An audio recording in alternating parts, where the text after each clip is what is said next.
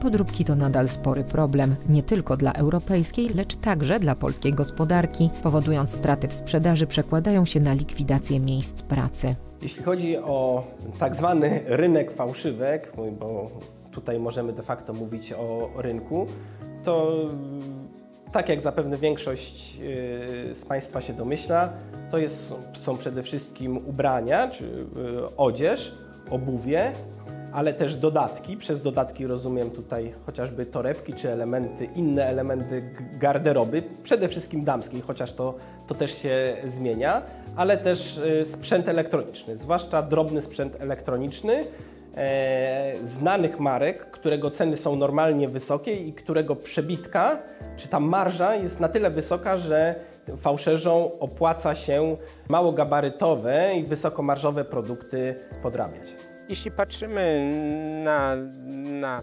wszelkiego typu podróbki, no to, to jest e, e, kwestia, można powiedzieć, z jednej strony taka dość szeroka. No, bo z jednej strony to można powiedzieć, że to są jakieś dobra konsumpcyjne, czasami to mogą być e, dobra związane tam z jakąś wiedzą medyczną i tak dalej.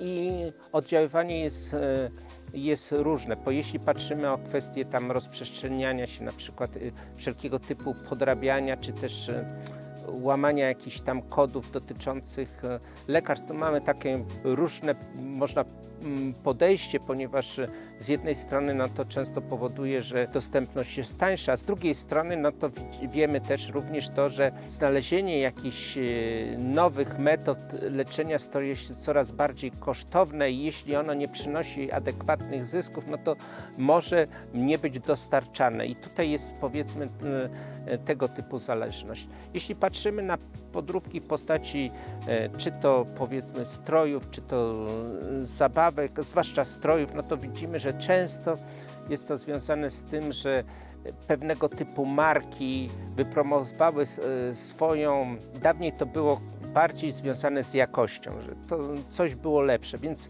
w tym momencie coś, co było podróbką, praktyce mo mogło się okazywać, że ktoś, kto nie wiedział, że kupuje podróbkę, no to mógł zostać oszukany, ponieważ coś nie miało adekwatnej trwałości.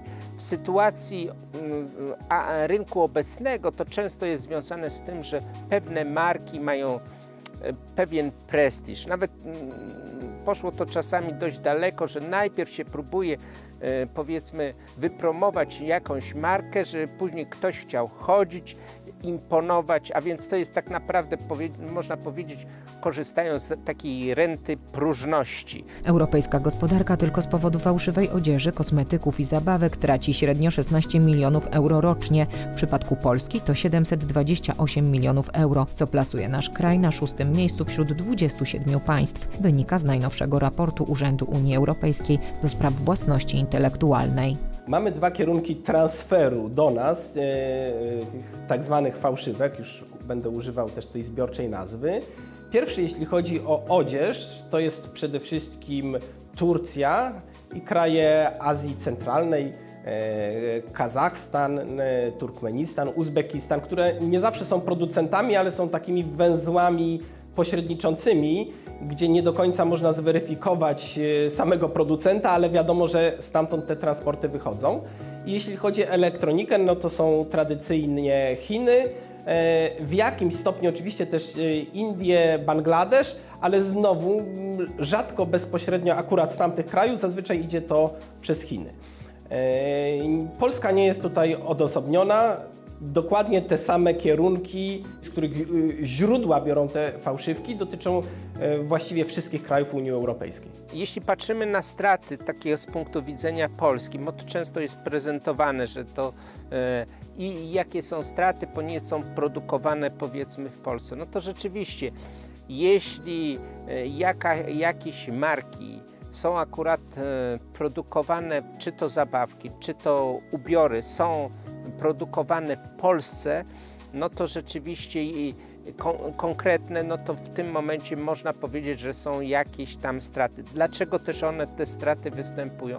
Bo generalnie jest sytuacja tego typu, że produkcja tego typu y, produktów konsumpcyjnych jednak w Chinach, może nawet już w Indiach, jest zdecydowanie tańsza.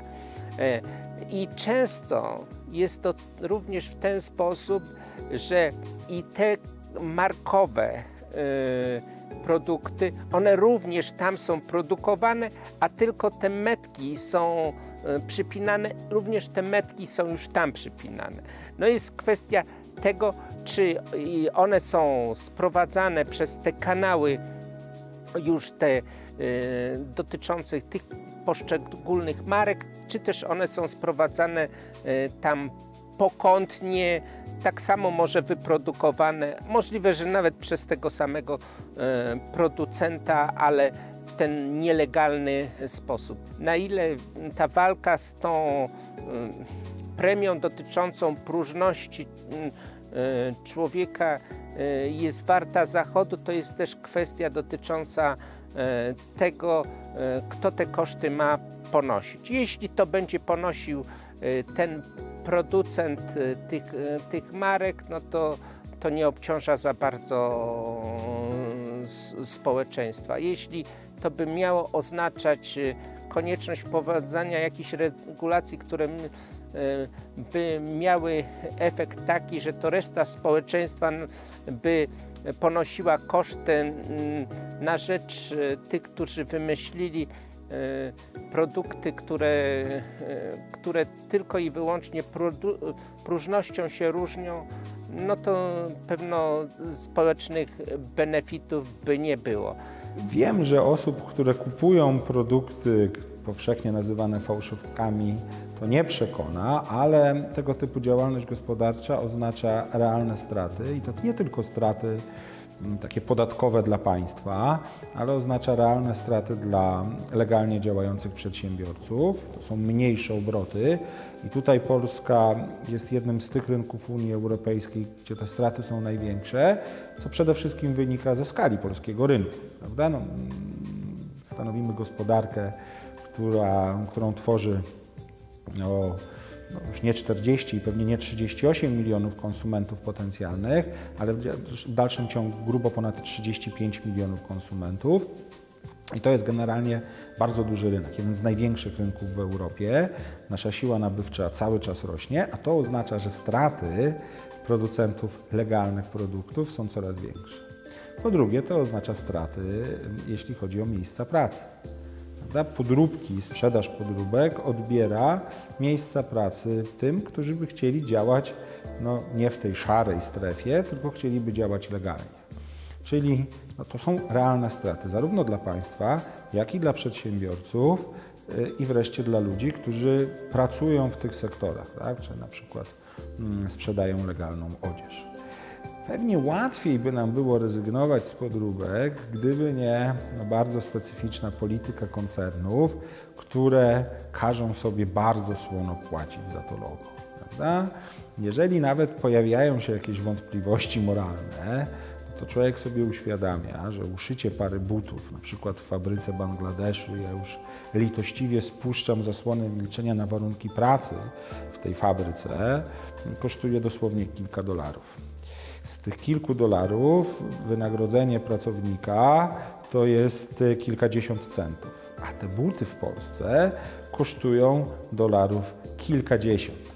E, no cóż, w tym momencie ktoś, kto kupuje podróbki, może się czuć niemal jak współczesny Robin Hood, który zabiera bogatym i daje biednym, czyli sobie. Jeśli chodzi o naszą gospodarkę, to w największym stopniu traci ona z powodu podrabianej odzieży 549 milionów euro rocznie, kosmetyki generują 140 milionów strat, a zabawki 39 milionów euro.